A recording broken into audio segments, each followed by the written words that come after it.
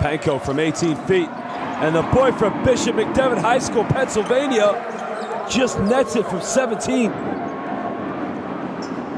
They turn it over. Toscano kicks it out.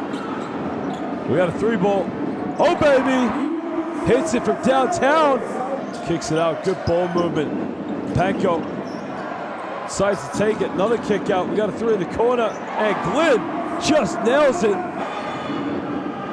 You can see have one penetration baseline. Kick out. Ball reversal. Another penetration. And then a three in the corner from Glynn.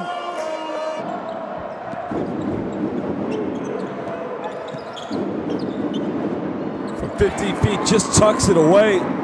Tries to kill the screen, puts up a floater, doesn't get it. And now Fuerza Regia can break.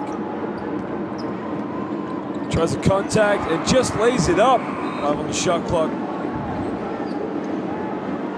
Glynn with a three. Oh my lord, he nails it. I mean, that was from downtown. So now, Fuerza Regia gonna have a fresh 14, but Glynn is on fire. And that's why you dunk in transition. And they make the pay on the fast break. And Toscano on the break. Euro steps. Panko gives it up.